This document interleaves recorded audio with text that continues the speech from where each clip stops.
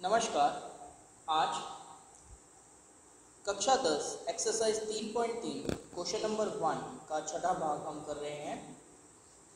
हमारे पास है तीन एक्स बटा दो माइनस पाँच वाई बटा तीन बराबर है माइनस दो और एक्स बटा तीन प्लस वाई बटा दो बराबर है तेरह बटा छः के। तो सबसे पहला काम हम क्या करेंगे? इन दोनों समीकरणों को पहले थोड़ा थोड़ा हल करेंगे। किस प्रकार से ये देखते हैं हम सबसे पहले यहाँ तीन और दो का लगा तो वो आ जाएगा छः छः को दो से भाग करेंगे, जो उत्तर आएगा उसको तीन से गुना करेंगे। देखिए छः को दो से भाग किया, तीन। तीन को ऊपर तीन से गुना किया, नौ। तीन किया, नौ एक्स माइनस इसी प्रकार से छः को तीन से भाग करेंगे। छः को तीन से भाग करके आया दो। उस दो को ऊपर पाँच से गुना किया तो बन गया दस वाई तो नौ एक्स माइनस दस वाई बराबर माइनस दो। अगले स्टेप में नौ एक्स माइनस दस वाई बराबर छः इधर इसके साथ भाग हो रहा है, उधर जाएगा तो माइनस दो के साथ गुना हो जाएगा तो माइनस दो गुना छः हो जाएगा माइनस बारह।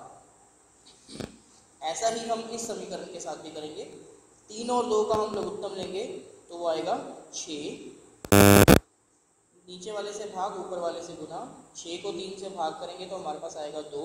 दो गुना एक्स होगा, दो एक्स बीच में है प्लस का निशान तो प्लस छः को दो से भाग करेंगे। छः को दो से भाग करके आएगा तीन।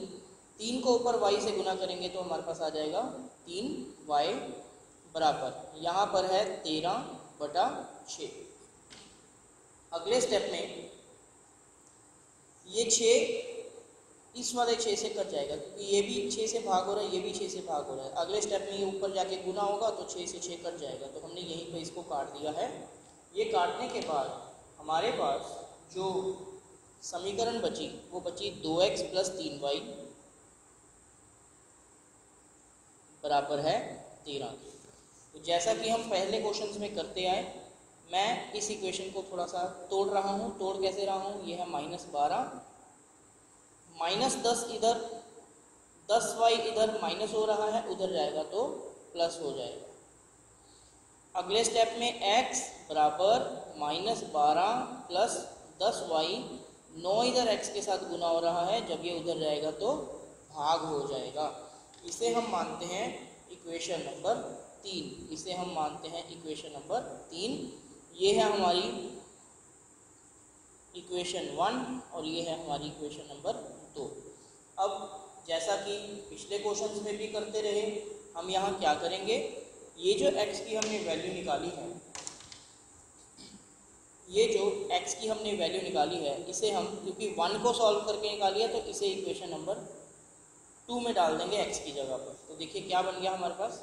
टू ये टू एक्स था टू इंटू एक्स की जगह ये सारी वैल्यू माइनस बारह प्लस दस वाई बटा नौ।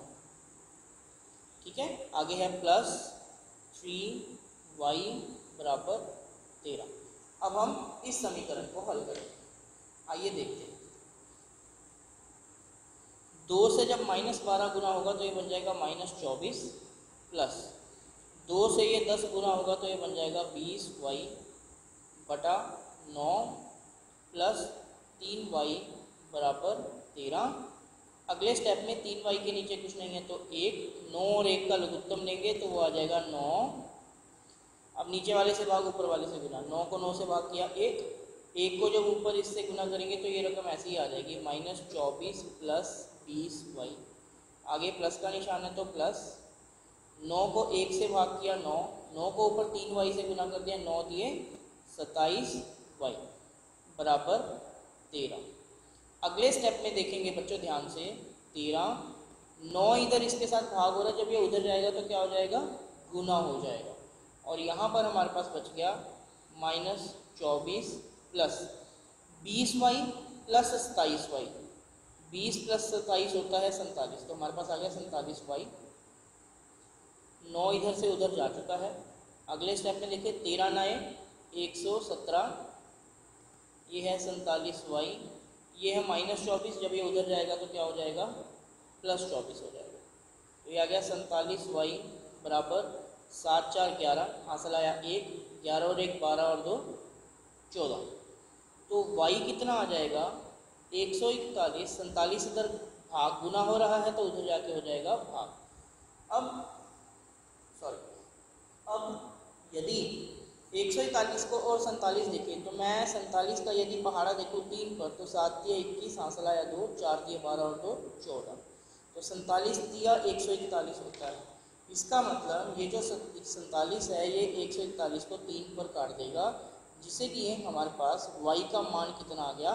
तीन। y का मान कितना आ गया? तीन आ गया। अब हम क्या करेंगे? Put value of y in equation three equation तीन कहाँ है? ये रही इक्वेशन तीन। एक्स बराबर माइनस बारह प्लस दस वाई बटा नौ। यहाँ वाई का मान तीन रखने से हमें एक्स का मान निकलेगा। ठीक है बच्चों? तो आइए देखते हैं। एक्स बराबर, यह है माइनस बारह प्लस दस वाई नौ। माइनस बारह प्लस दस वाई वाई की जगह अभी हमने वाई का मान निकाला है तीन। बटा नीचे है नौ। इसे हल करते हैं तो माइनस बारह प्लस दस दिया, तीस बटा नौ प्लस माइनस माइनस तीस में से बारह निकाले, अठारह, साइन बड़ी रकम का, बड़ी रकम है तीस, उसके साथ निशान है प्लस का तो अठारह होगा प्लस का बटा नौ और नौ से अठारह कट जाएगा दो पर। इसका मतलब क्या हुआ? कि हमारे पास x का मान कितना आ गया? दो। x का मान कितना आ गया? दो। तो हमें इस क्वेश्चन में x और y का मान निकालना था इक्वेशन को हल करने के लिए। तो x का मान अभी हमने निकाला है दो और y का मान हमने अभी निकाला था तीन। तो x बराबर दो और y बराबर तीन। ये हमारे पास ये जो ऊपर समीकरण थी, इसका हल आ गया है। ठीक है बच्चों? तो कई बच्चे ये बटा के रकम देखकर ही डर जाते हैं कि ये तो बड़ी मुश्किल रकम है और आपने देखा कि हमने ज़्यादा मुश्किल नहीं था। स्टेप बाय स्टेप हम इसको सॉल्व करते गए और ये प्रश्न आगे से आगे से आगे हल होता गया। आशा करता हूँ आपको ये वीडियो समझ आया होगा। यदि समझ आया तो हमारे इस वीडियो को बच्चों लाइक ज़रूर करिएगा। यदि आपको किसी स्टेप से नहीं समझ आता तो आप वीडियो को रिवाइंड करके उस स्टेप को दोबारा देखिए। धन्यवाद।